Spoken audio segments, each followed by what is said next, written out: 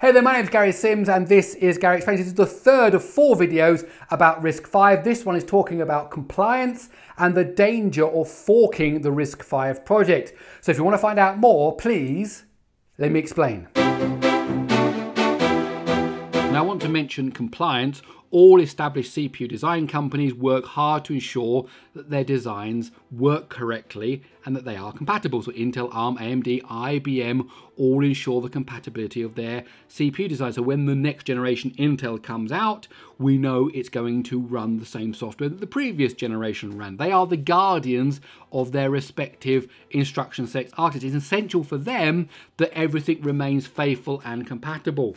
Okay, and actually Intel tried to change their ISA, they tried to go to a 64-bit architecture that wasn't based on its x86 architecture. It was called Itanium and it failed miserably. It failed miserably because Intel suddenly said, hey, let's have a whole new instruction set architecture. Let's do something completely different. You'll need to rewrite all your software. Oh, we'll give you the compilers. We'll help you do all the porting, but you're going to have, and it failed miserably. And that's why AMD 64 succeeded because AMD said, well, actually, can't we just take the existing x86 uh, ISA and then make it an x86 64 ISA, which is what they did, and we got AMD 64. Then Intel finally had to capitulate, and they did exactly the same thing, and Itanium just died. So it is key that uh, these ISAs, whether they're commercial ones from Intel, ARM, IBM, AMD, whatever, they are they are have compliance. They they they are compatible with what already exists. So how does compliance work on RISC-V? Well, compliance is actually a double-edged sword because while the technical information for SPARC, for example, is free, using the SPARC trademark requires two things. You need to be a member and you need to successfully complete the SPARC compliance test. So even SPARC as an open source ISA say, well, if you want to call it SPARC, you're going to have to have this compliance test. That way we can ensure that everything with the SPARC name on it actually is compatible with the right software. MIPS, as I said, gives you the right to license under the R6 architecture, all the patents, you can build and sell cores using the MIPS certified trademark for certified cores. So MIPS understand that if they want to, if people want to call something MIPS, they're going to have to be compliant, and that way people know what they're getting. RISC-V has no compliance requirements whatsoever. Now that may sound like the utopia of, you know, no licensing fees, no trademark worries, no, actually this is a huge, huge problem and we'll just talk about that now. Now, anyone is free to change RISC-V and take it in a different direction however they like. They could call it ICE5, that's just a name I invented up there, whatever. No compliance required. Nobody can stop you from doing that. Interestingly, for commercial products, usage of the RISC-V trademark or RISC-V logo must follow the guidelines and is only permitted for member organisations who are party to the RISC-V Foundation membership agreement. So even in RISC-V, actually, if you want to call something RISC-V, you're going to have to start paying your membership and you're going to have to agree to their agreement.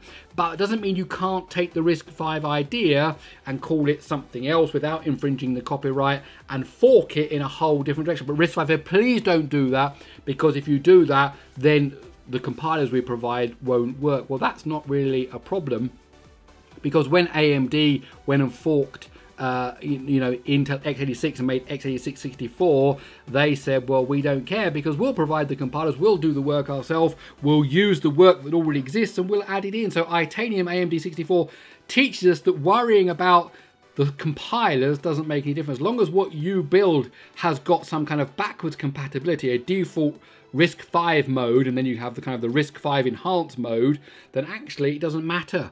And so forking is a real issue here because there is no compliance. Nobody is forcing you to build a RISC-V processor that works like anybody else's RISC-V processor or is compatible with anybody else's RISC-V processor. Now, open source software has told us one thing, forking is inevitable. It will happen. There's no way it's not going to happen. Whether it succeeds after it forks, that's a whole different thing. But any company with enough resources can fork and create its own ecosystem. And Amazon's Fire tablets are a perfect example of forking Android. Amazon Fire tablets run Android apps Amazon has its own set of services, Amazon has its own uh, app store, but actually it's all based off of Android. So any company with enough money and enough resources can fork RISC-V, and if it's got enough weight behind it, it can take it in its own direction and nobody can do anything to stop them. And we've seen this in the software world Oracle Enterprise Linux is a fork of Red Hat. OpenBSD was actually a fork of NetBSD. LibreOffice is a fork of OpenOffice, and so on and so on and so on. There are so many examples of this happening. So it is inevitable that RISC-V will fork at some point in the future. Now, I talked a moment ago about extensions. Now, the battle between AMD and Intel, is going back in history a bit here, has taught us that one company will add something to an instruction set and then the other company must either add an equivalent or copy. And this, we're going back to the days of MMX, 3D Now, SSE. These are all examples of how AMD and Intel, and even today when you talk about the virtualization properties, when you talk about some of these newer things with containers and with direct access and with memory protection and different bits that enable execution and all this stuff that goes on at a deep level in these CPUs, the two companies are either trying to do the equivalent of each other or trying to copy each other. Okay, and that's happening uh, today. So either way, it demonstrates the real possibility of fragmentation because one design company needs to have a competitive edge over the other. Why am I, why would you buy my chip rather than buy somebody else's chip? And ultimately, the need to differentiate will turn RISC-V companies against each other. AMD and Intel are not friends. They are not friends, but they use the same ISA. They use the same instruction set. The x86 and the x86 64 instruction set, they both have support for things like SSE and SSE 2 and 3 and 4 and all this kind of stuff, but they're not friends. They do not go out for drinks after work every day. They are they are competitors. They want to outsell each other, and ultimately, RISC-V companies will turn to battle against each other. And every kingdom divided against itself is brought to desolation. Every house divided against itself will not stand. So once you start to get competitive uh, uh, things going on, then this could actually cause RISC-V to split down the middle. Again, it's going to be forking. Okay, so that was my third video of four about RISC-V. I really do hope you're enjoying this series. One more video left to go, and that is my predictions about what will happen in the future. So I'll see you in that video.